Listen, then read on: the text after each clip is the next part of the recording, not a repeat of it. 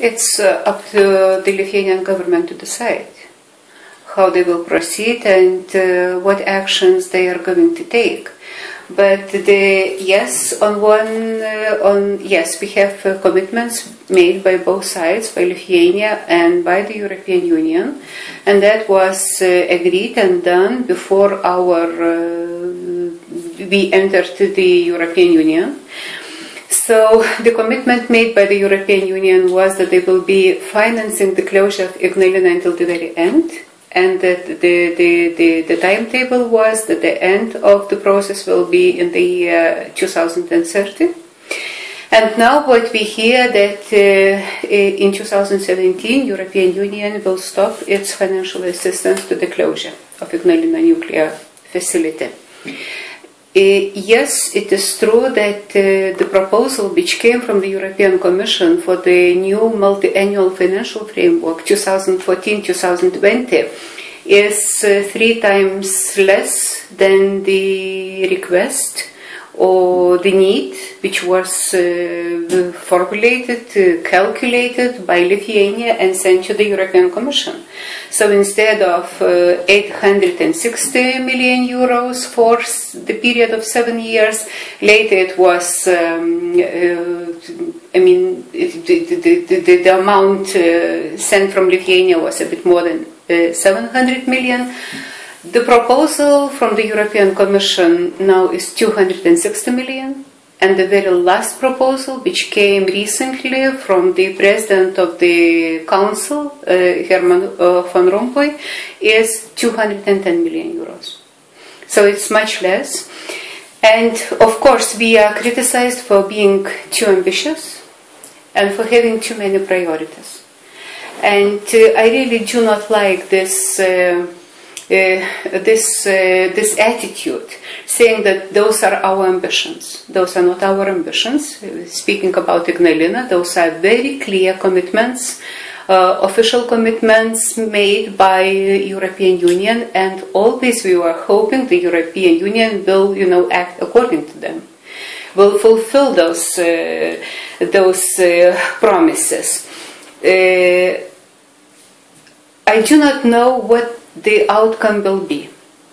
Uh, but uh, possibly Ignalina will be left uh, aside and we will concentrate on two other priorities. That is cohesion policy, uh, assistance we receive uh, from EU structural funds, as well as uh, agricultural policy, common agricultural policy, and direct payments for the farmers. Why?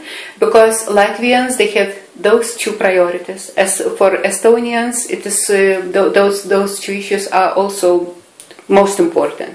So if we have to have our Baltic solidarity and to act together and together with uh, other countries from Eastern and Central Europe, those uh, countries uh, who joined European Union together with us in 2004, and later Romania and Bulgaria. So it looks like we will have to concentrate on those two. And uh, uh the, uh, the, the, the, promises what, uh, concerning agricultural policy, they are quite positive.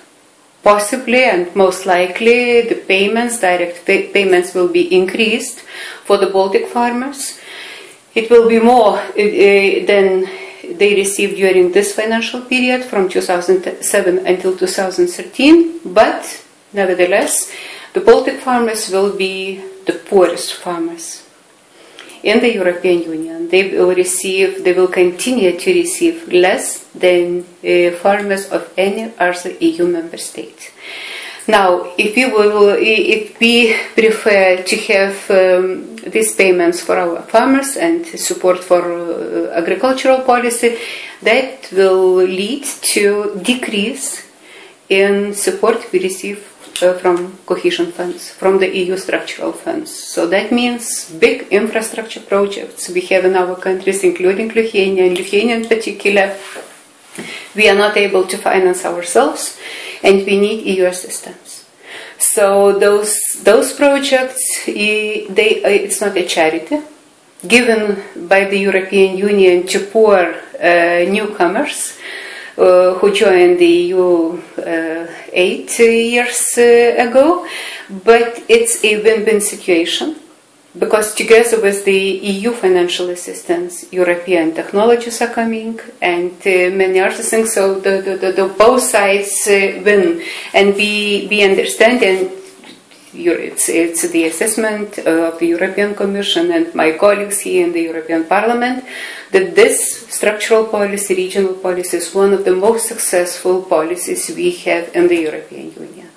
So I wish we will uh, we will be happy uh, about uh, the, the the the decision made by the leaders of EU member states, but at the same time I have to be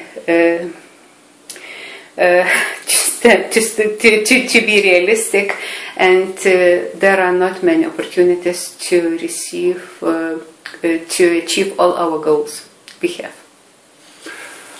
So Lithuania is going to concentrate on those two two aspects: agriculture and uh, cohesion funds, and uh, we will uh, somehow um, not pay too much attention to Ignalina closure if you have to choose. It looks that we will have uh, we will have to um, to adopt to to say yes uh, to the proposal.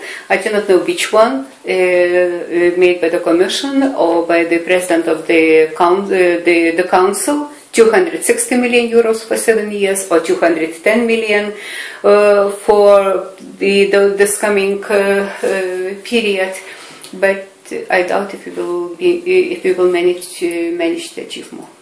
What, uh, in your opinion, what is the reason for changing the attitude in the European Union? Okay, we have austerity measures, we have uh, um, GDP growth is um, basically zero in the, in the European Union. Mm-hmm. But when we signed the accession treaty, we were promised to be assisted in closing the Ignalina nuclear power station. Mm-hmm. We were promised. It's written in the in the agreement. Yes.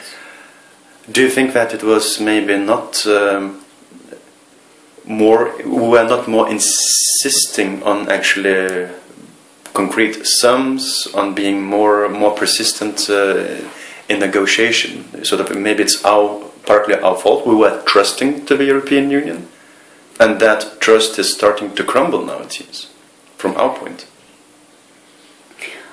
The reality is uh, like it is and uh, when we were uh, negotiating our accession to the EU, nobody was speaking or foreseeing the economic or financial crisis, which started in the United States of America and then came to Europe. And it's uh, it, it's still it, it, this this crisis we, we, we face it. Uh, we, we and we will face the consequences of the crisis for quite some time, and uh, in relation to this crisis, European Union had to assist and support a list of countries which were in trouble, uh, the countries who, who were in trouble, and those countries, as we all know, Greece and Spain and Portugal and Ireland and uh, Cyprus. Uh, so uh, it's not simply it is not possible to finance everything. Remember that when Iceland had a problem, when their uh, banks, it was a banking crisis, the, the, the, the collapse of uh, the, the, the, the, uh, banks, without the help which came from the European Union, Iceland wouldn't be able to solve their problems com- in comparatively fast and to get out of this. Uh, so I can understand countries like Germany or Britain and some others who are complaining and saying that you know we are also we feel the, the crisis is on the ground. So what arguments we should find to explain to our population and to our citizens that we are giving money to our, other countries and implementing austerity measures in the country at the same time? uh, and uh, of course, we understand that we are discussing uh, the next year's budget and the multi-annual financial framework in this context. But we also, what we, what is very clear, looking from from the perspective of from the European Parliament, of the European Parliament, is that we have strategy 2020, and it's very clear that in the globalized world, the competition is really tough. If we want to uh, survive or to win in this, you know, the, the, the, in this context, we have to implement our strategy. And the strategy, the goals of the strategy, it's economic growth and uh, employment, jobs. And it's about competitiveness of the European Union. So if we want more, uh, and, and money is, is, is, financial resources are, are absolutely necessary for this. So if we are going to cut EU budget, then we are, you know, say, uh, doing something opposite. And uh, that is why European Parliament has very strong position. And our negotiating team, they refused to participate in the conciliation meeting and they said we do not have a, the mandate given to us by the European Parliament is to vote against any budgetary cuts. And that is speaking about the year 2013. Uh, the position of the Parliament regarding multi-annual financial framework is that if we cut our budget, this will not help us to get out of the crisis. We, maybe some people expect this, but we will have just opposite. If we want more Europe, we have to give more money.